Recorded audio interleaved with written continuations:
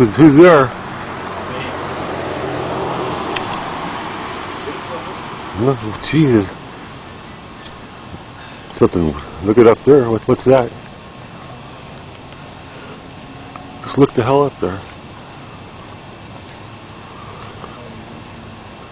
Where do you see something moving in the sky down here, right here?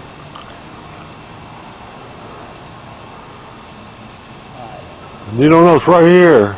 Right above our house almost. There's two of them moving. It's a white one and a yellow one. No, just nobody could see it. Jesus, if Channel 3 could see it.